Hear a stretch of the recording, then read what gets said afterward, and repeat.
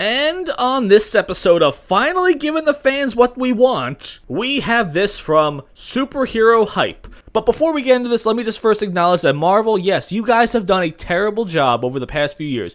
You have given us comic books that no one has ever given a shit about, for characters that no one cares about, sexuality changing them to a, to appease an audience of people that are clearly not buying your comic books. Comic book stores across the country are closing down because no one's buying your shit, but now you guys have done it. You guys have turned the ship around. You guys have righted the ship. You are doing the things that the fans want to see. Never mind, I'm just fucking kidding with you. They brought this character in from She Hulk and gave her an MCU comic book debut. Worst of all, it's Wong talking to Doctor Strange. And he says, Tonight's the season finale of The Bachelor. Madisynn and I have been waiting weeks for it. And she says, Wongers, the bottomless G and T's are ready. And Doctor Strange just says, enjoy. She Hulk was so bad that we're not getting a season two.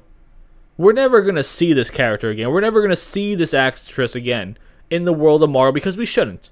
The whole show is made by activists who had one intention and one intention only to make this show, and that was to stick it to the haters, and that's what they did. They spent a hundred million dollars making the worst show ever conceived by humanity.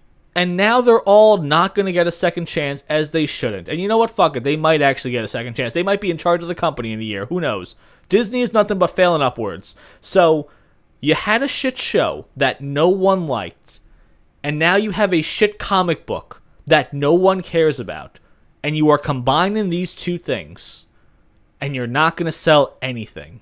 The logic going on in this company right now because right now, you don't even need a long-time die-hard comic book fan. It's not like they have to grab Gary from Nerdrotic and he's going to write a billion series for Marvel and all that stuff. You could just grab some schmuck off the street that knows nothing about Marvel Comics and they could create a better story than the people that are getting paid for this right now. We're, we're really at a point right now where they, they can't do anything right.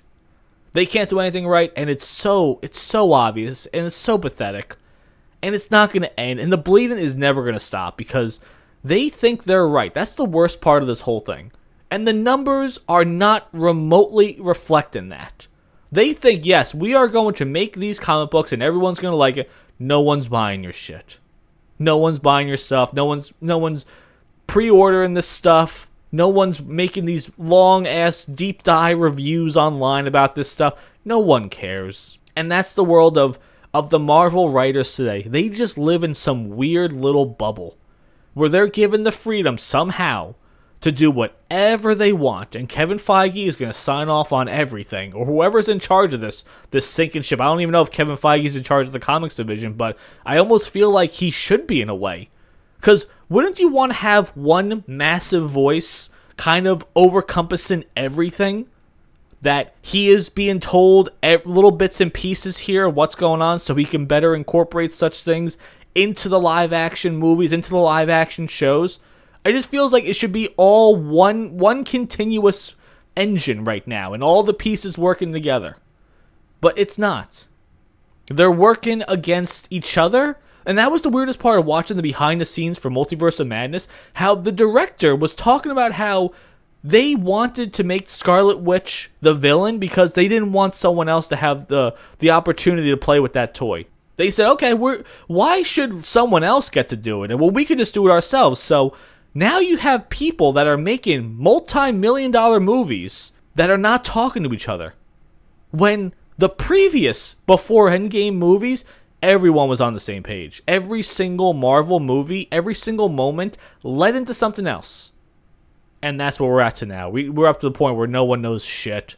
Everyone's doing their own independent thing, and it's it's not working at all. It's a shit looking comic. Just from this part right here, though, just it looks terrible. And who in their right mind made this? Who in their right mind thought this is gonna actually sell? And who's buying this right now? Can you imagine? Actually, no, we all could. Um, I bet we right now could guess the the weights and hair colors of all the people that are buying and consuming these products right now. So, what do you guys think about that? Are you excited for Madisynn's comic book debut? Do you think she's going to be a titular character going forward? Worst of all, you think she's going to be in the movies? Do you think we're gonna get a Madisynn cameo? I, I honestly, I fucking wouldn't be surprised at this point, though. Let me know what you guys think about that.